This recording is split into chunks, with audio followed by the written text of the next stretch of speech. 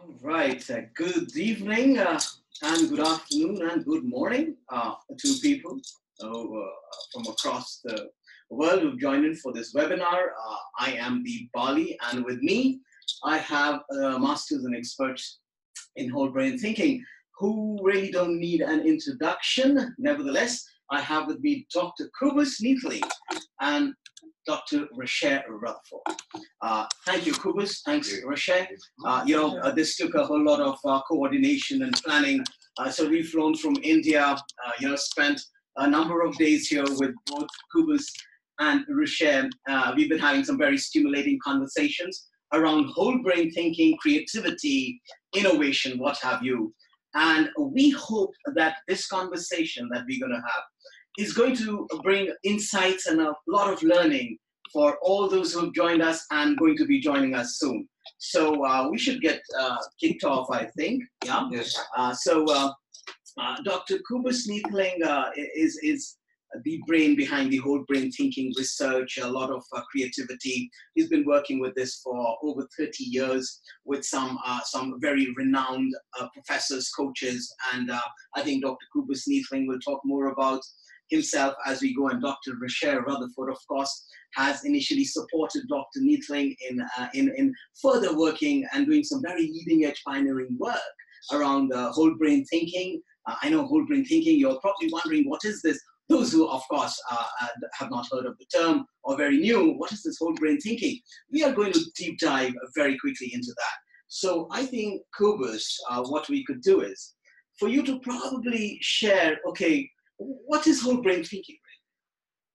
Yeah, we, as you said, it started decades and decades ago with when I was at uh, University of Georgia studying under Paul Torrance uh, with his two-dimensional instruments uh, style of learning and thinking. And under his guidance, started to develop a series of four quadrant thinking instrument because it's about thinking, your thinking preferences.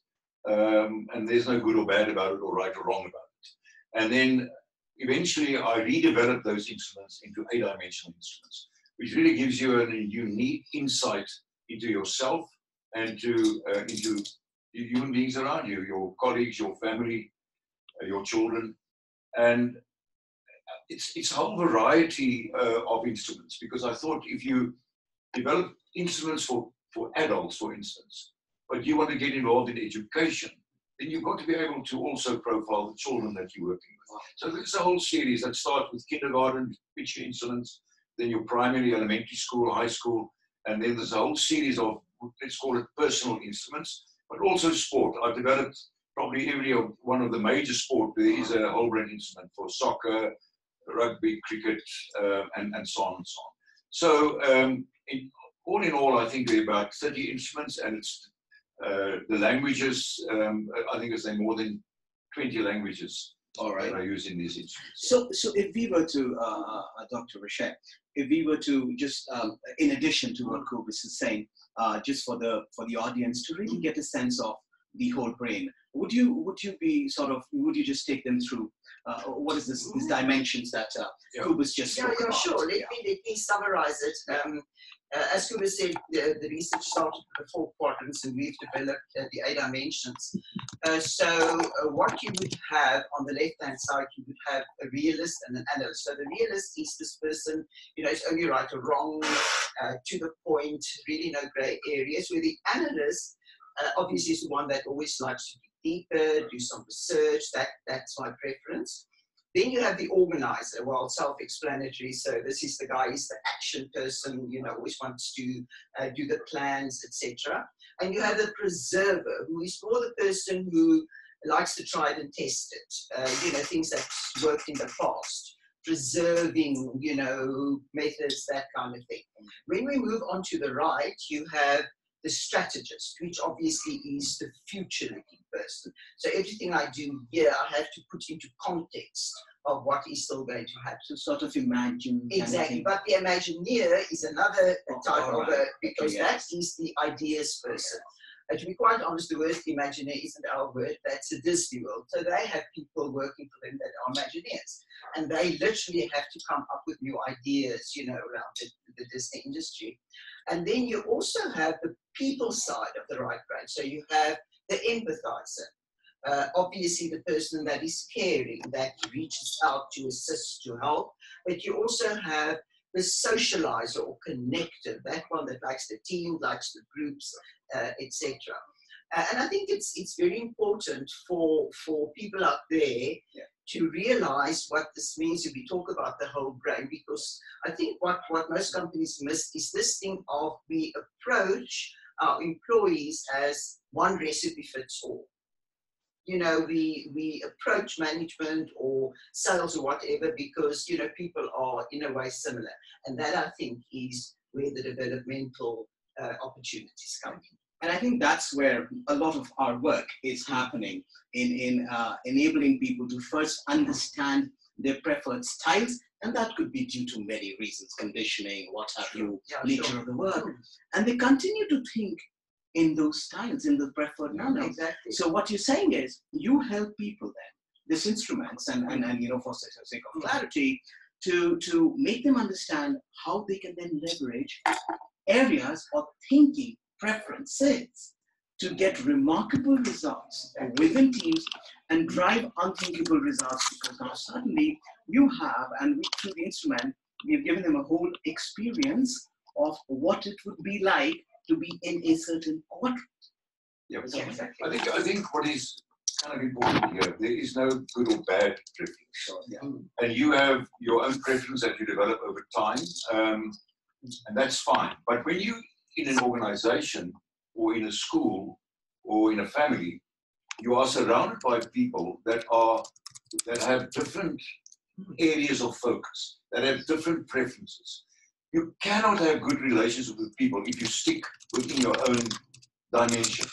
And if you have conflict, bad relationships. So a whole brain organization, it means that you don't have to be all over, but you have to understand that the next person walking into your office may be completely different. And then we, you learn how to move in and out of your own dimension. And that is amazing because that then influences everything. It influences the way that you make decisions in the organization. You suddenly realize that I've been making decisions only from one dimension. Sure, and I've been missing all possibilities, or I uh, communicate with people only from my preference, and that's why people don't, just don't like it around here. There's no passion for work.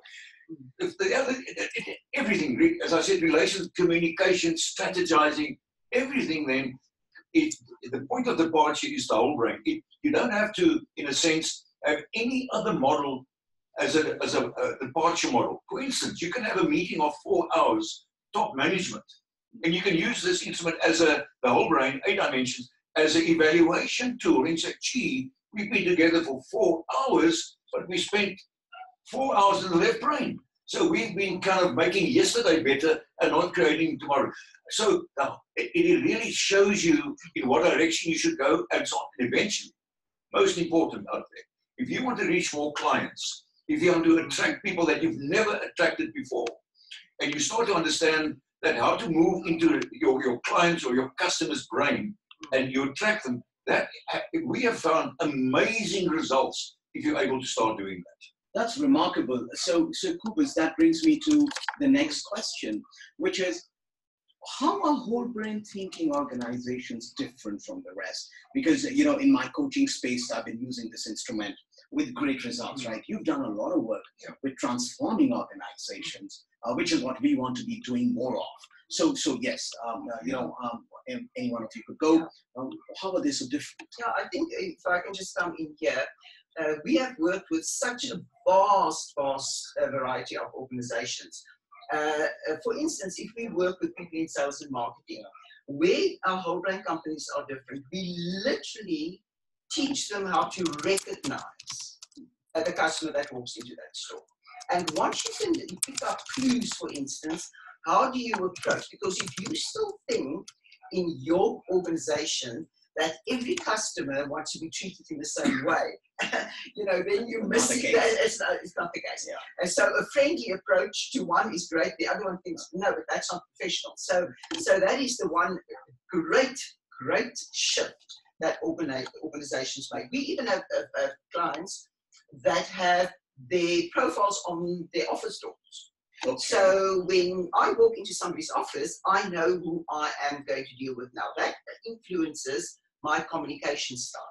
Because remember, every single day of our lives, in our communication with our family, with our clients, with our colleagues, we are trying to sell something. Yeah. We are trying to sell our ideas. Or influence or inspire. Influence, exactly. Right. And yes. you only manage that if you are talking the language of the listener on the other side. If you insist on communicating from your side of the brain, you are missing people very, very often. Uh, so, in other words, uh, uh, we talk about the whole brain really as the, the, the preference tools, as developmental tools, because that is really what it is. Knowing your profile, extremely important, that of the other person, but how do I learn the skills in order to move in there? How do become, I become a whole brain manager?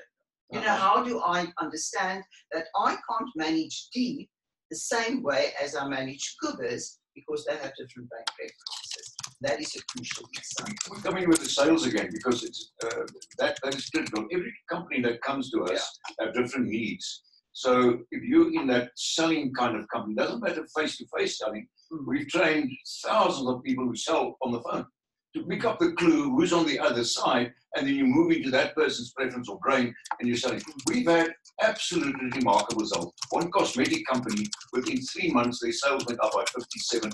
The car industry, the same, selling cars, but now recognizing who walks into the storeroom, also about 40%. And, and in uh, so many in, in retail companies. I remember a few years ago in a furniture company where the whole country, the sales went down. In that particular company, the sales went up by 48%.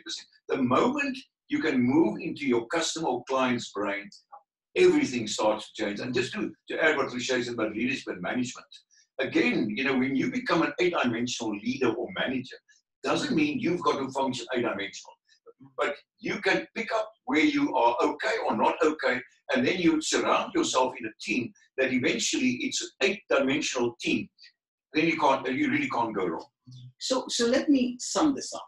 Let me try and summarize with this part what you just said. So, for example, uh, I know my preferences, right? So I'm a R1. I'm, I'm quite an imagineer strategist. I'm quite an L1, right? And in my role, that works. Now, what you're saying is, now if I draw from what you are saying, it is like, okay, if I were to approach a customer who was more organized, process oriented, Yeah. uh, wanted to work with status quo, Yeah. did not like much dis- disruption.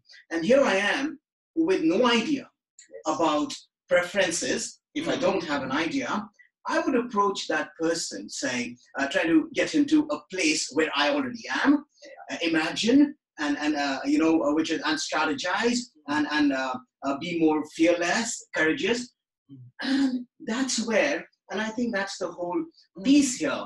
It it we, we don't move people. We don't move them. So now with an understanding, as you said, Mm. aha, okay, this person is more organized. So what changes for me is because I have an understanding of how the other person is thinking, I change my language. Exactly. I I I then talk more from an organizer's point of view, exactly. saying the same thing, Exactly. so they understand.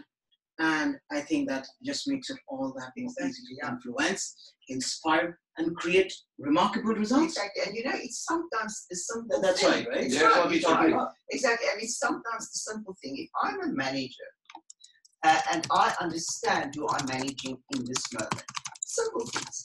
How do I give instructions to this particular person?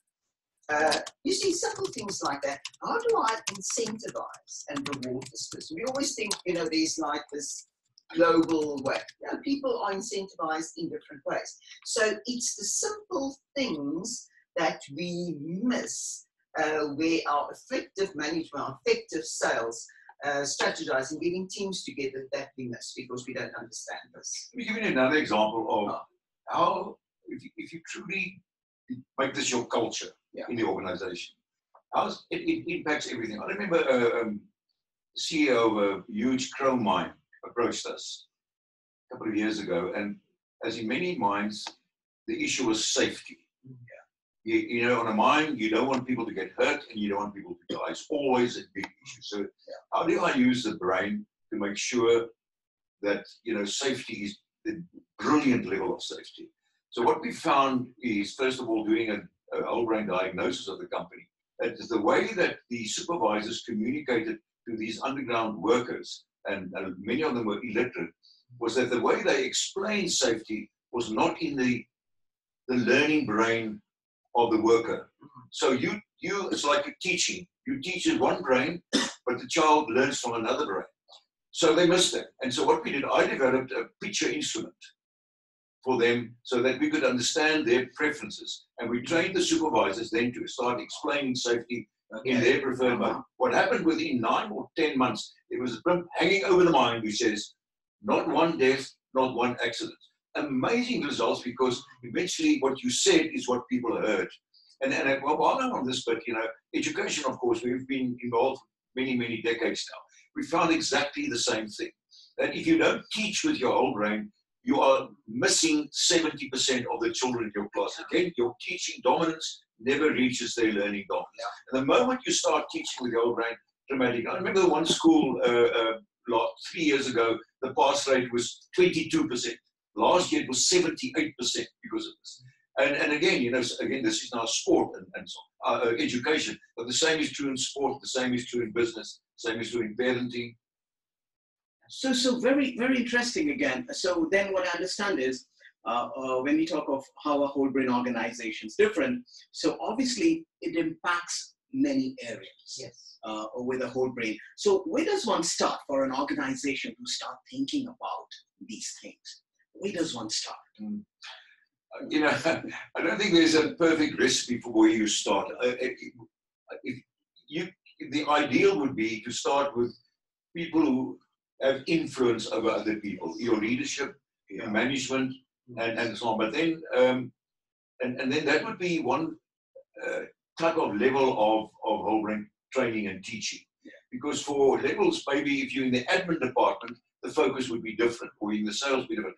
But in the leadership or management is what we would start because immediately you create awareness. Because moment you start and people have no understanding of creativity or the whole brain, they're in that little that level that we call unconscious incompetence. They don't know that they don't know. Yeah. So to create awareness, first of all, Yeah. you need the leadership or management to be able to do that for you. And and uh, you know, in, in in my practice as a, a, a practitioner coach, when I use this instrument, I of course use it more for individuals.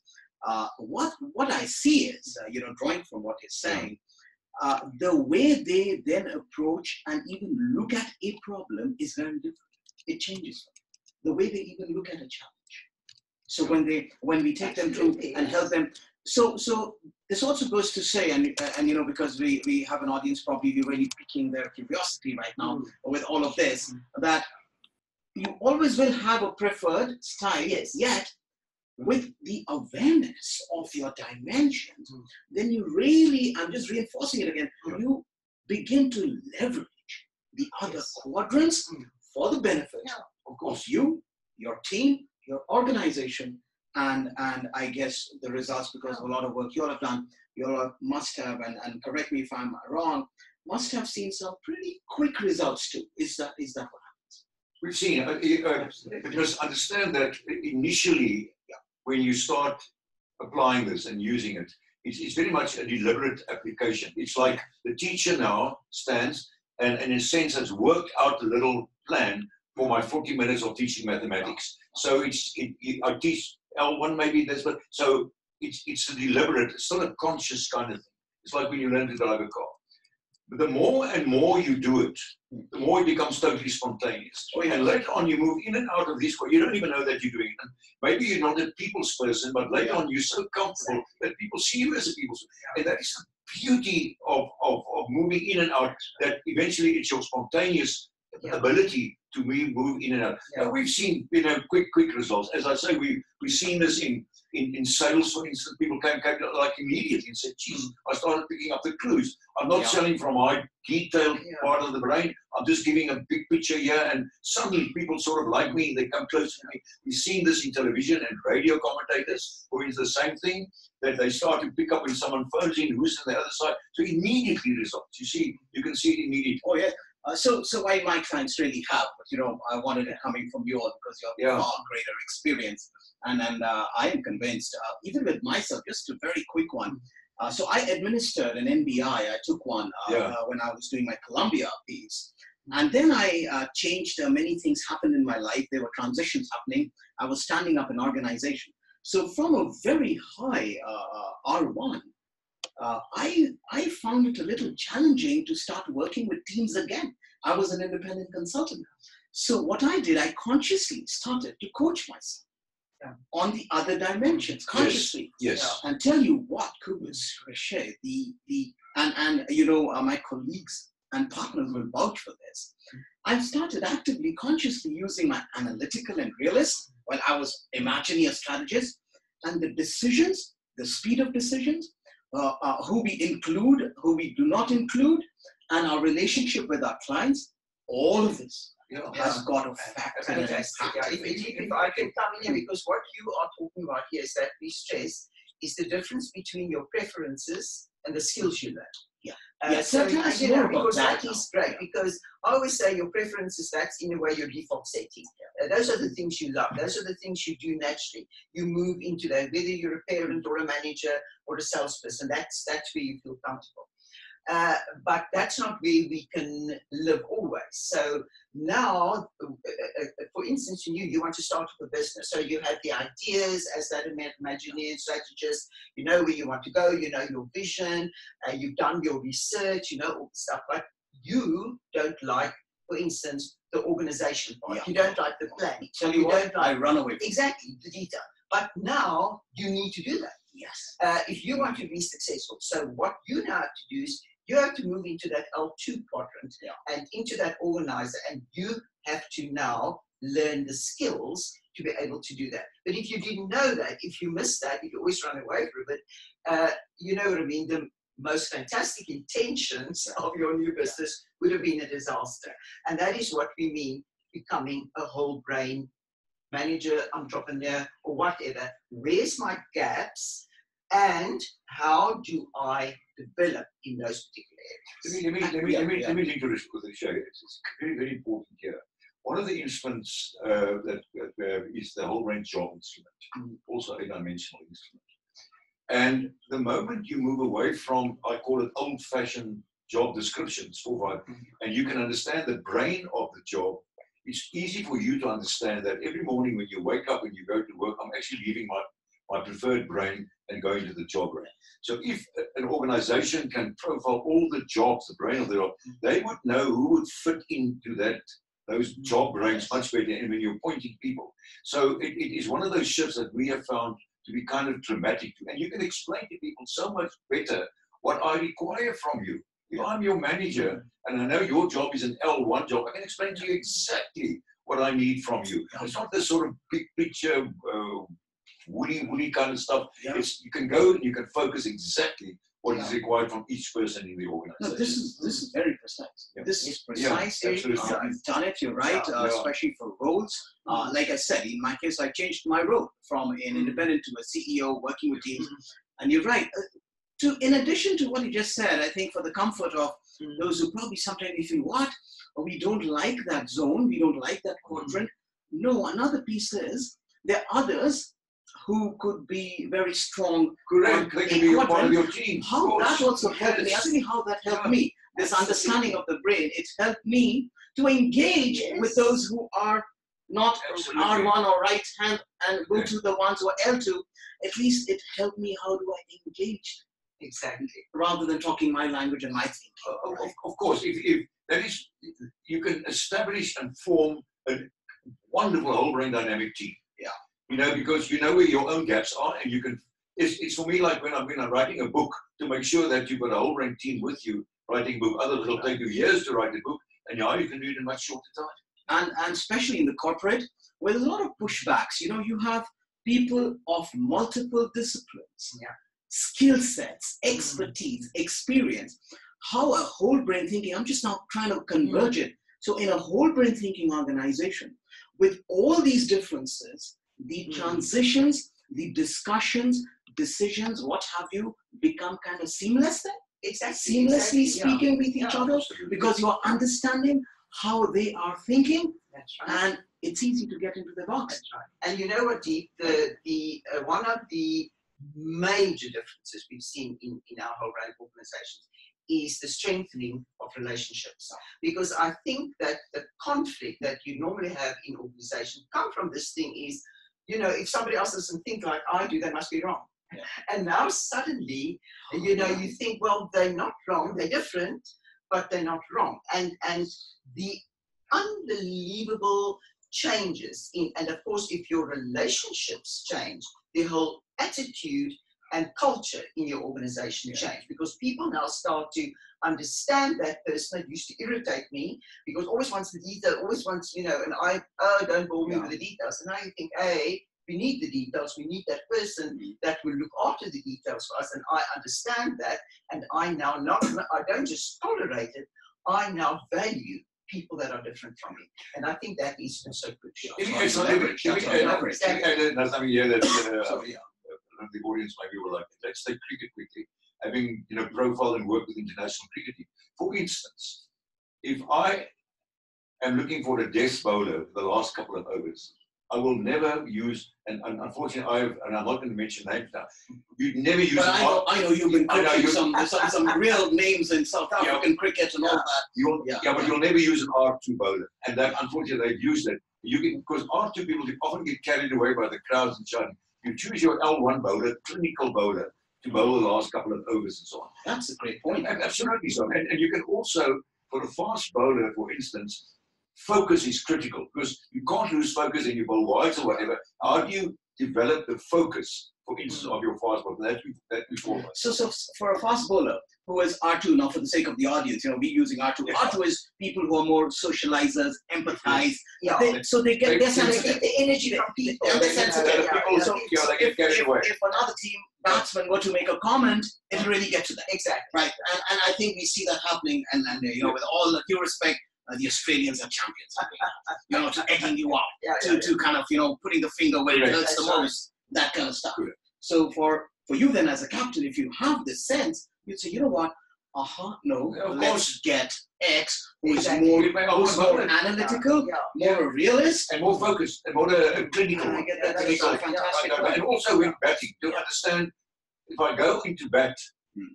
uh, normally it would be to, to bat, doesn't matter where your dominance is, to bat from the L2 where you can use patience, stay with focus, and so on before you move into your So- favorite And, and moving right from sport to leadership, uh, where the same Yeah, principle applies, because if you are in need and we always say, what's a good leader? Well, it depends on, on the need of, of the organization. So if you want uh, a leader that is very good in, in a crisis that needs to be decisive, you know you have to focus on your on your L1 leaders. Uh, because that's who they are. But if you are in need of relationship building, of strong teams, of collaborative decision making, you need to go to your R2 leaders that can get people together, etc. If you feel you start and what your company needs is the vision, the strategy, we need to be innovative, we need to look what the world is out there, you know, you need to go to your strategist uh, leader. R1, Exactly. So, so uh, to be quite honest, I haven't found an area, a field in this world where the whole brain isn't going to lift you up a notch. Oh yes. Uh, uh, now, in addition, very quickly, for Mm. because you talked of leadership, and we have, and we have many leaders on this Mm. on this webinar, on this chat that we have. Yeah. Uh, the point is uh, then uh, that if if a or an organization now wants to pivot, you know how today's in today's dynamic Yeah. environment, you cannot stay in a state of inertia. You're forever continuously improving. So then it goes without saying that when you're pivoting, your leaders are not the you can't have the L2 who are organizers who want to preserve. You Mhm. then need to be in quadrant R1 to be able to make that pivot. Of course, all are important, but to drive them, and, and I think um, you know I've seen this in my experience. Leaders and CEOs sometimes struggling to make a change. People are resistant to change Yes. not understanding they could be speaking with L2s, the ones who like to preserve, who like to organize, who likes the process. So, so it becomes so much more easier then to speak with them about change, not from your perspective, But from from their perspective, that, that's right. Fantastic. Exactly. So, so I've been hearing, you know, just to shift the focus to beyondness. I've been, you know, hmm. this term I heard from Yes. Kobus, you, you know, the term beyondness. Well, there is no such term, but beyondness. Yeah. Talk more about beyondness. What is this beyondness, and how does it link up to what we are talking about? Uh, you know, I think this this uh, uh, this is one of our flagship uh, uh, uh, courses as well, our Beyond It courses. And I think uh, it is so popular because we literally present it. And I know I'm going to be doing it soon. You are. Yeah, so I'm we- excited. We literally present it all across the world. Yeah. We've been to several countries, and I think the popularity of the program lies in the reality that most people and most organizations, I think, have this deep down the feeling that you know what, we haven't really delivered everything that we're capable of. You know, there is something up there that we could still do, that we can still deliver. And the uh, the program literally uh, gets you to focus on what is your line in the sand, because I think most people have that. You know, the line in the sand that's been drawn in the past, and we are this side of the line. We, we sort of accept that's who we are, that's what we can do, that's what we can reach. And the program literally takes you and asks you the question what are your stretch opportunities? Uh, is it possible for us to go there? How far can we go? And this is like this aha to most people because we, if we show you our models, our techniques on how to go from where you are now, uh, and uh, uh, Kobus can talk a little bit more about this as well. But I think even top organizations don't realize how ordinary they are in certain aspects. And they have fears, right? To go from one level to the other, they have these fears. So you want to talk more about that, and I think why we could bring up that that that whole slide, the Mm, beyond the thing, yeah, which is up now. So so more about this beyond the creativity. How- how is Let me maybe- maybe take a step back. Uh, beyond this, the concept is probably the best research concept in the world. That is why, uh, you know, my connection with Torrance for more than 20 years was that he followed children for more than 30 years over a period to wanted to establish, starting at the age of six or seven or eight, and, and when they were adults, re, you know, kept on retesting them. Uh, how many became beyond beyonders? Because his whole, and mine too, because I spent seven years studying young children, is that in a sense we're born, born a beyonder, but then because of decision making, because of parenting, because of education, we seem not to, we seem to go down to ordinary. And the whole idea is, how do I get back to beyond this? How do I get become my beyond again? And I, I, I said, I spent 20 years with Torrance in, you know, in, in evaluating and working with this, with this concept. And this, it's, it's the amazing thing about this, you know, it's, it's for everyone. It's not Mm. for the rocket scientists out there.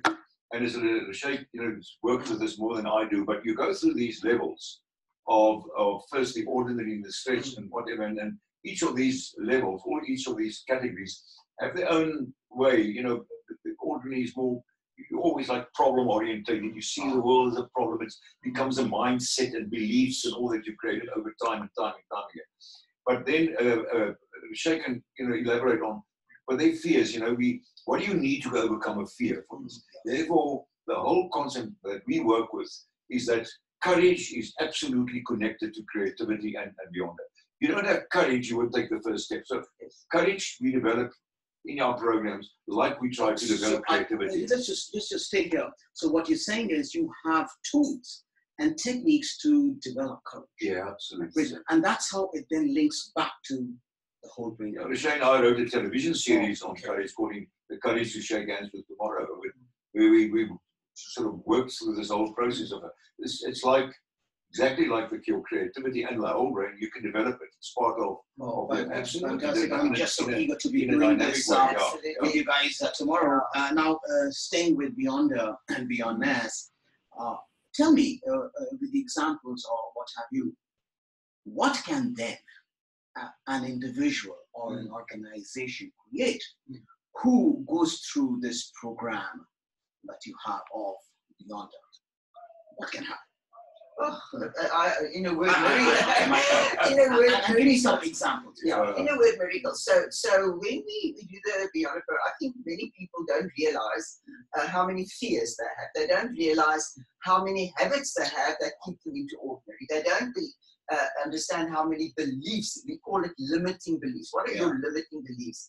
So one of the things we, we start off with, we, we confront people with that. And it is sometimes sort of a shocking experience, but people don't realize it. So, you know, if you go tomorrow to most organizations out there and you say to your, your people, you know, to, from tomorrow, we're going to use this completely different software program, just watch the reaction. you know, everyone's upping up up, thought, but upping up. what Why, why, why you change your winning team? Oh, there they go again. So most people, uh, you know, and then another thing which which uh, Kobus talking on the courage.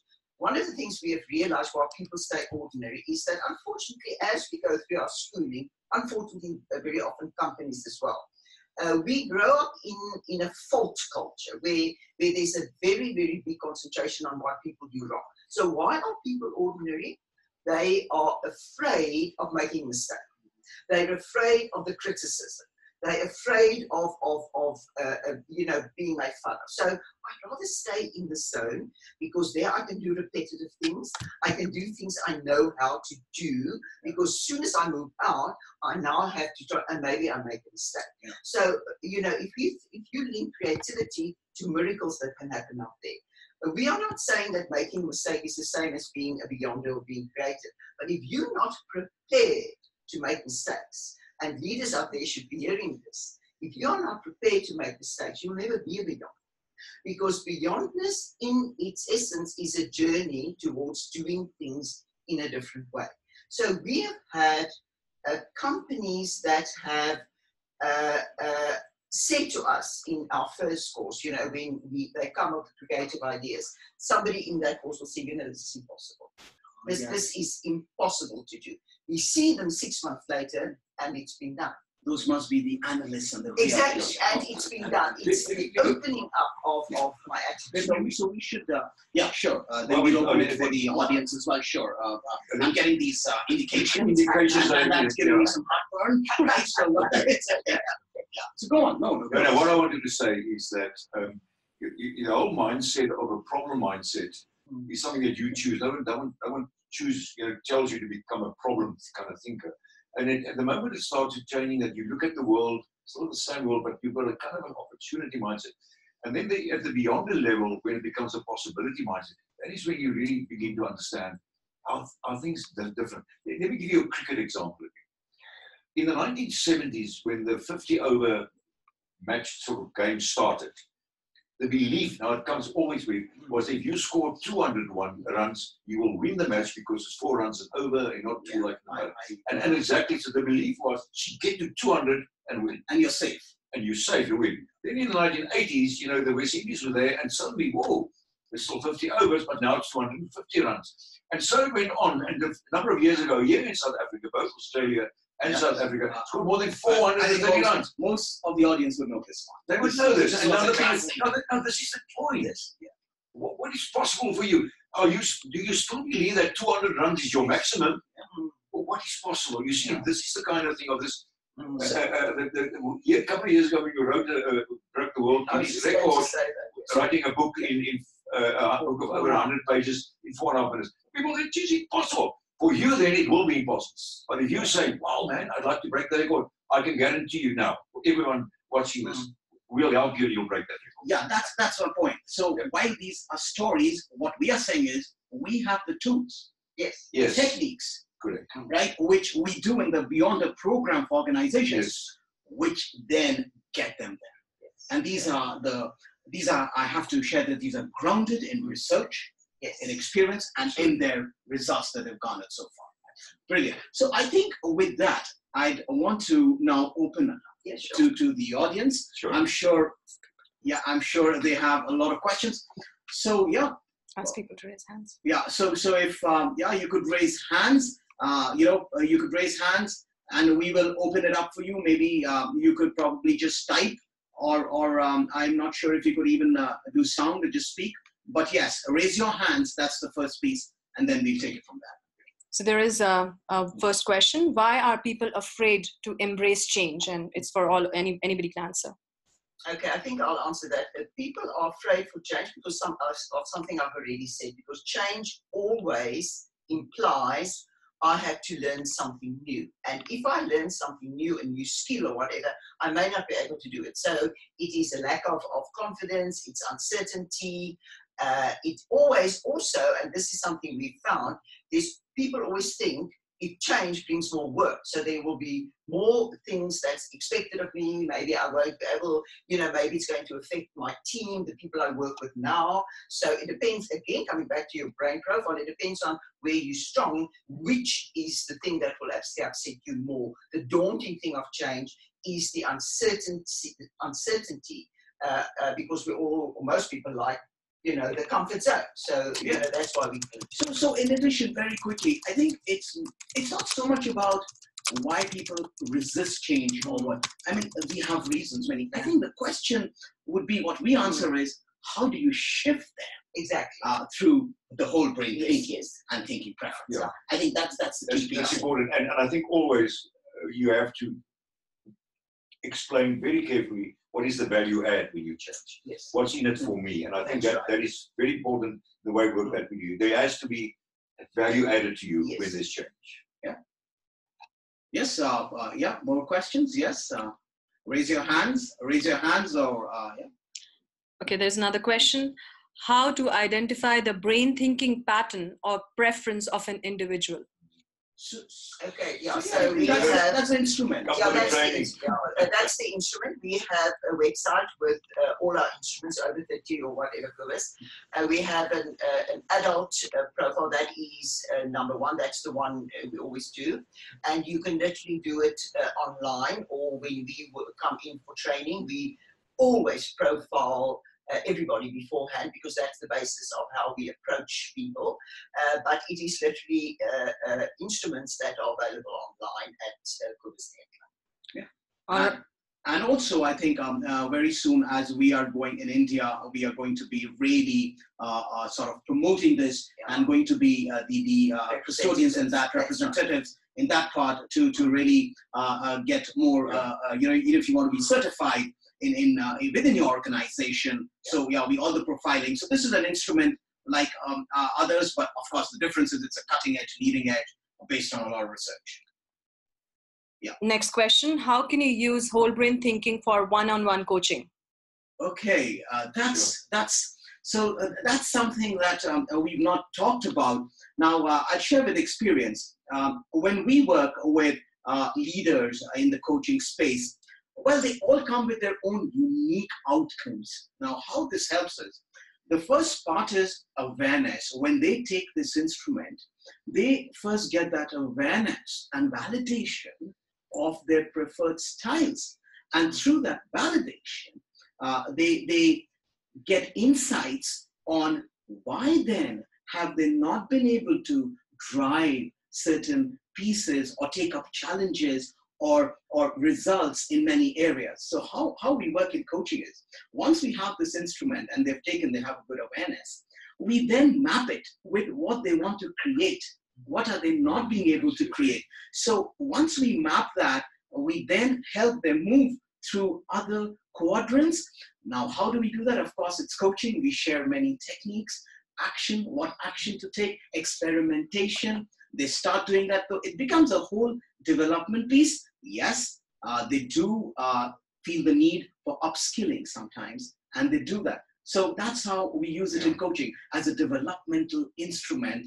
And uh, just to very share, in the past six weeks, I think I've administered about six uh, of these to leaders from very, very uh, number one in technology, and these are sales heads, and also administered it to CTOs and CEOs in the past six weeks itself.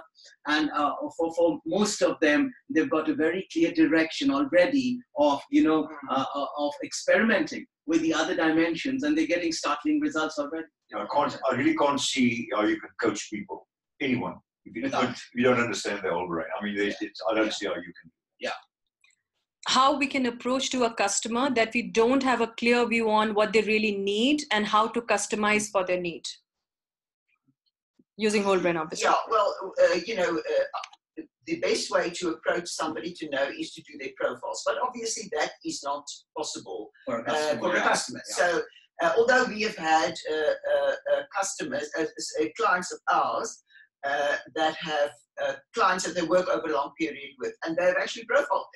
So they keep those profiles, uh, uh, you know, with them, so they know how to give good service to that specific customer. So that has been done.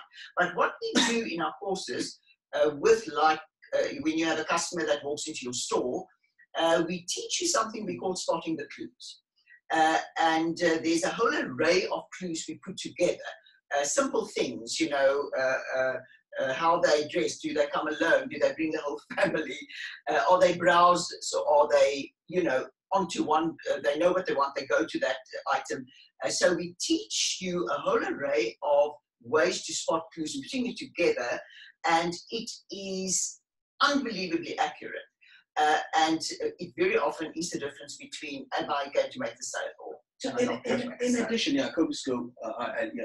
I'm going to ask, uh, yeah, and also um, by asking questions, mm. you can um, kind of determine where they, their yes. comfort zone. I didn't, uh, I was just wondering, is the question about could you the customer or was it the organization? Customer. Yeah. Oh, the customer. So what was the question really? Uh, How we can approach to a customer that we don't okay. have a clear view on. Yeah, so, yeah. so, so, so in addition to what Rashid just said, a, it's intuitive. A customer always wants more information. If it's a business customer, mm. they want information. They've never worked with them. They want comfort. Mm. So I think it's I, I, intuitively the customer will be in L1. Mm. Customer mostly will be in L1, analytical, let's analyze them what is the work so uh, and and how do you approach an l1 then that's what you learn through this program how would you communicate so mm. obviously uh, giving them more comfort rather than and, and mostly we go as imagineers to customers right? We normally because we already have the thing so so that that would uh, uh be uh, ways to really understand intuitively. But as Kobus said, sometimes, you know, because we have worked even with people that sell uh, uh, uh, over the telephone, you know, and, and you know, as most of these organizations, uh, they work according to a script. So some years ago, we had a company exactly like that, and uh, we literally taught them to ask the three or four uh, non-invasive yes. questions right up. So simple questions, you know, we've got a new product, uh, uh, we want a few uh, pieces of information. Do you have children? I mean, that simple question, in a way, you can, you know, the person that says yes, or yes to. You know, you know, okay, there's probably L. The other said, yes, I've got two children. Oh, you know, they're driving me insane. They go, you know, you know that's probably an art. You're giving information, yes. not art. Oh, absolutely. So in the simplest questions, you can already, we work with property uh, agents, people that, that sell uh, uh, uh Brilliant, yeah. Uh, uh, wonderful how they, in a few simple questions, can know which homes to, to take these people to and not waste their time, what they are looking for. So it, it has vast possibilities. So, so the responses, the cues and the responses. Exactly. That's what those questions are. All right. Fantastic. Yeah. So Ankita has two questions. I'll probably give them together. How early in terms of age and experience can one detect the brain thinking pattern or preferences? And what is the time period of validity of the instrument used to detect this uh, pattern, the brain thinking pattern? How early? Yeah, um, look, um, as I said, over the years I developed um, first the adult instruments, but later on, you know, also children. Um, and we have an instrument for preschool and kindergarten before they can so read and write, which is a picture instrument, which is more an indicator to parents and teachers of where the preferences are. And it's a huge uh, um, assistance and help to parents, you know, in, in the way they, they parent or they teach those early young children. Then there's one for the elementary school. I developed that with my two sons when they're 10, 11 years old. And it was it, it, it really had impacted on them tremendously because they, they understood one another as brothers they understood their parents. They, they started to understand their teachers and couldn't kind of pinpoint where the teacher. They are now adults, my two sons, and people who know them will tell you that I've never ever had conflict. They've never seen conflict between my. It eliminated all the conflict between them.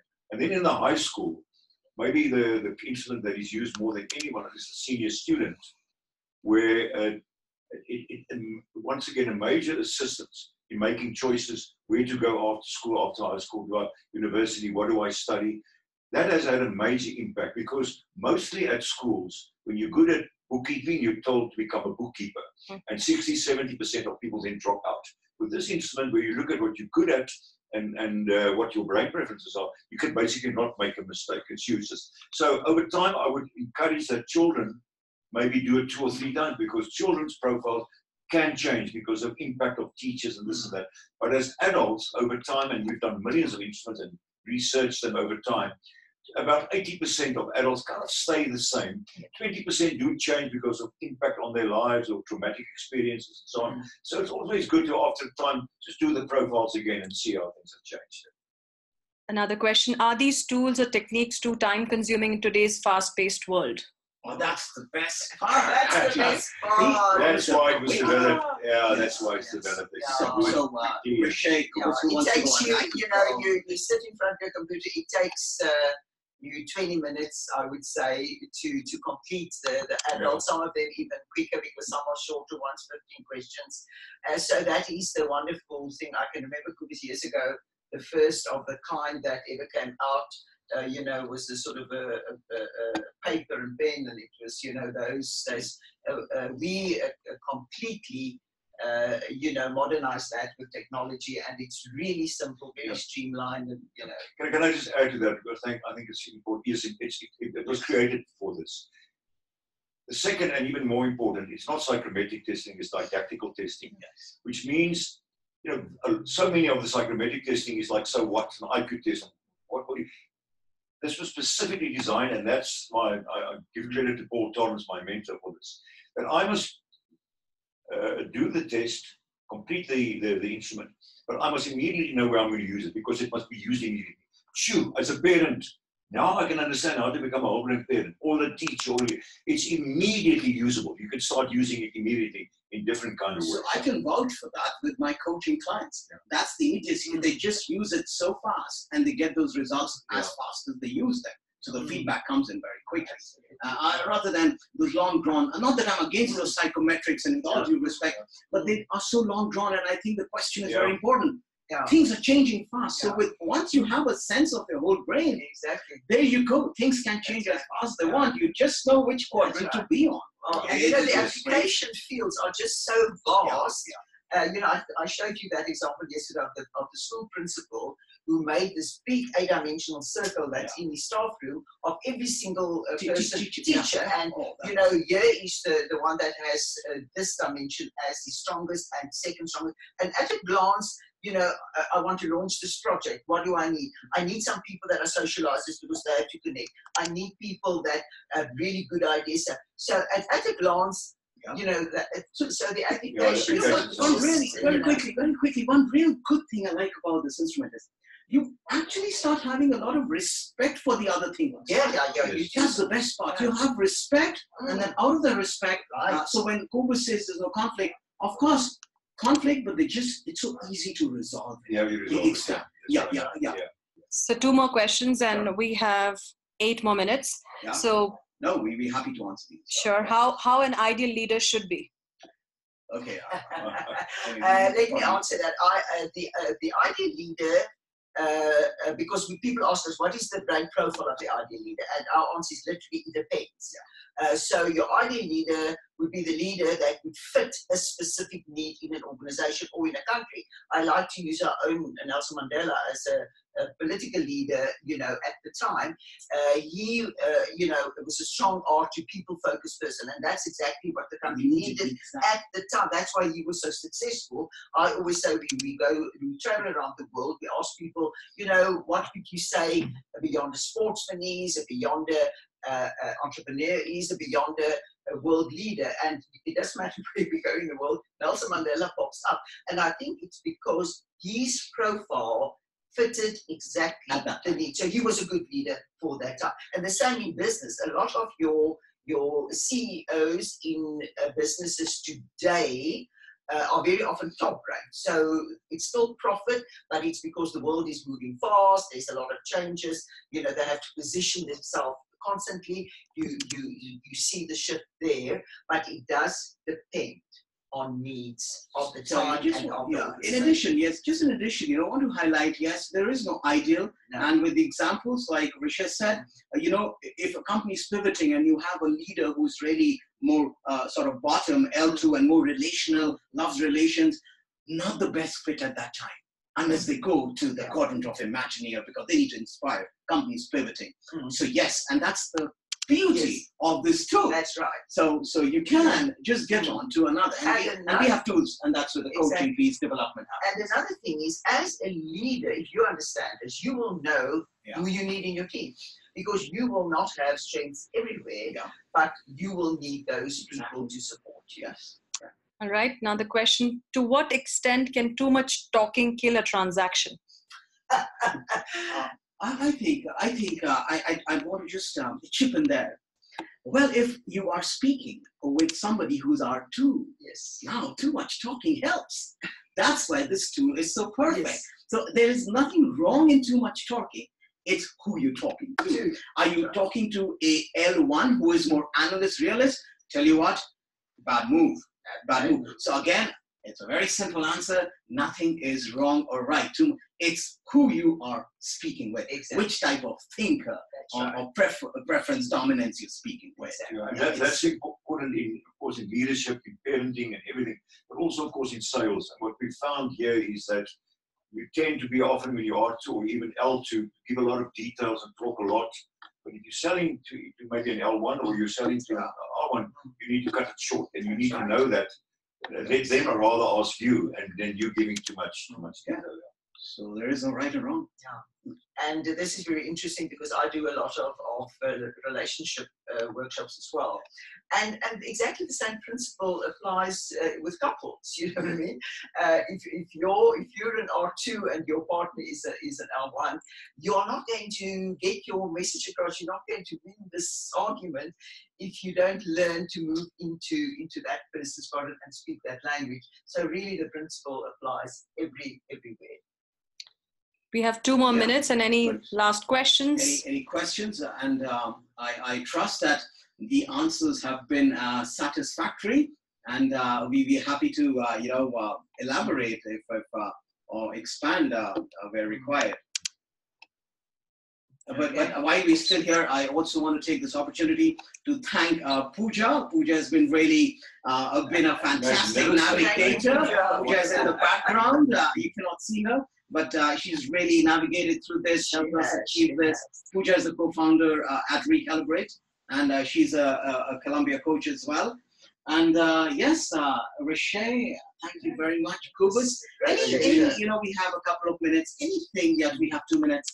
Um, uh, anything you'd like to focus on or reinforce or, or sort of highlight, you know, uh, Yeah. I'll leave it to you guys. you know, often when um, you, you, you introduce whole brain into a dimensional thinking into organization, Yeah. often people go like this because they think, geez, the brain, and a dimensional, this is going to be complex and difficult.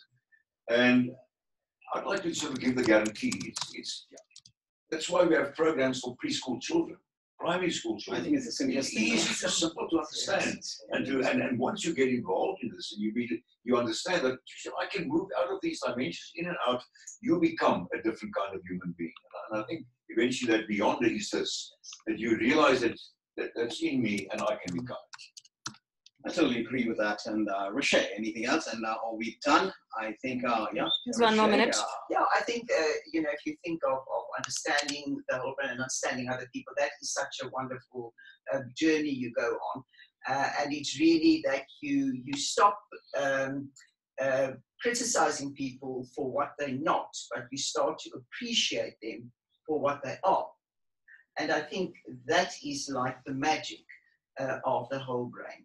That we are not right and wrong, we are different, and we should embrace those differences. Absolutely.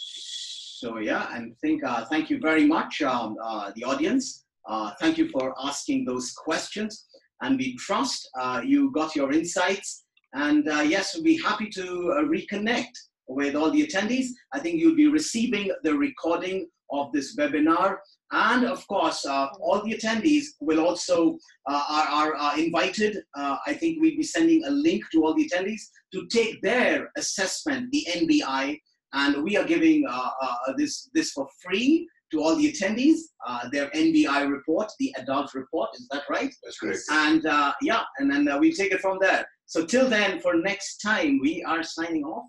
Thank you very much Thank you. again. Thank you. Richard. Thank you, Kobus. Thank you very much. Thank you. Thank you.